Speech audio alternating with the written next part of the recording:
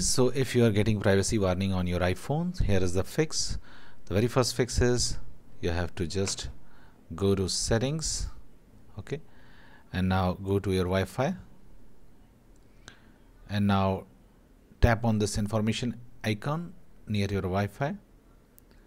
Now what you have to do you have to scroll down and you have to find private Wi-Fi address setting. So just turn this off okay. Now go back. Now turn off your Wi-Fi for few seconds. Wait for few seconds then turn it back on again. And now try to connect and your issue will be resolved. If this does not get uh, to work and if this does not fixes your issue again click on this information icon. And now tap on forget this network tap on forget. Now again try to connect by entering the password and your problem will be fixed. That's it guys. Please do like the video to support us and thanks for watching the geek page